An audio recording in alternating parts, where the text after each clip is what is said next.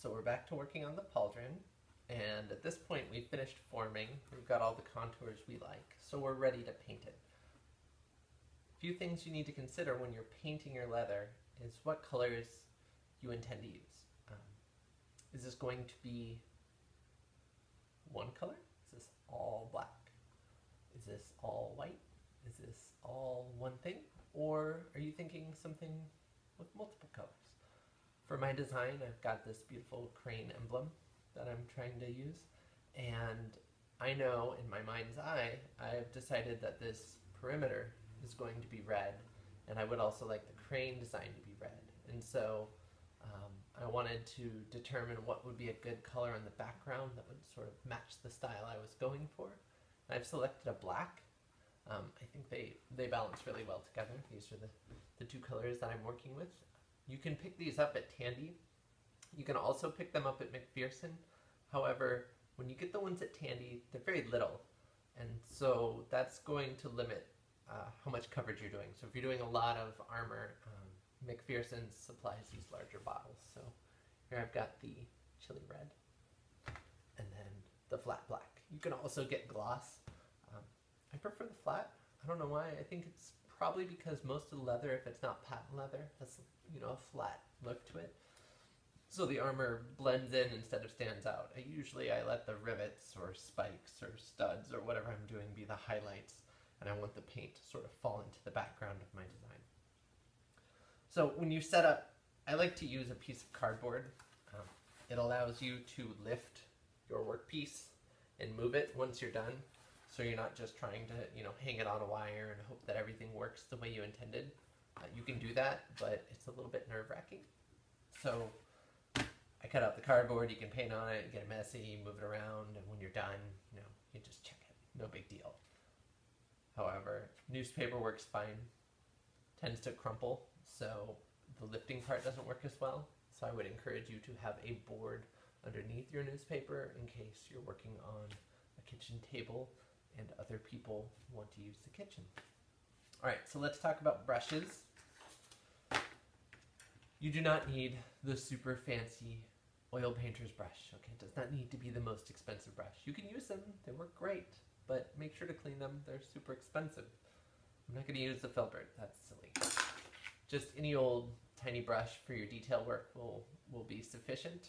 However, if you're doing a lot of coverage, like let's say you are doing one monochromatic flat black piece of pauldron, chip brush, it's a dollar. You can get them one inch, inch and a half, two inch. I mean, they just get wider and wider, and it's like from one to two dollars, and it's a throwaway thing. So even if you screw up the brush, uh, it doesn't matter. I tend to rinse them and reuse them. They work great. They work great multiple times, but it's it's a really good way to get a lot of coverage very quickly. However, if you're trying to do any detail work, this is not the tool for you. So you're going to switch from your chip brush to just a standard square brush or a rounded tip, which is the filbert. And then I like to have one little detailing brush. Okay, you can see it's got a super tiny point. And that allows you to get into these nooks and crannies and really um, get the details that you want. So one thing to consider as you're painting your part, if you've carved out or emboss something, the lower levels are always harder to get with a brush, so you want to paint those first. So in this case, when I paint my entire pauldron shape, I'm going to do the black background first, get into all these little details, and then I will paint the highlights in red so they really pop, but because they're higher, it's going to be easier to get them with the brush. A couple more prep steps. It's always good to put your paint in a sacrificial container, especially if you're mixing paint. If you don't have the exact color you want, you have to mix like red and yellow to get some sort of orange, or for me, you know, usually I'm looking for like a really good pink or green. Um, I like the little to-go containers for sauces. They work great.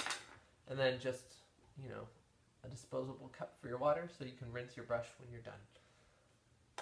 You don't have to, but it's always a good idea to keep paper towels or newspapers handy in case you knock something over or get paint where you don't want it. You don't want to let the paint dry. It's going to get stuck everywhere, so just rinse it off and wipe it down immediately. If you get paint on your clothing, you're going to want to blot the paint and then dilute the paint with water. Okay?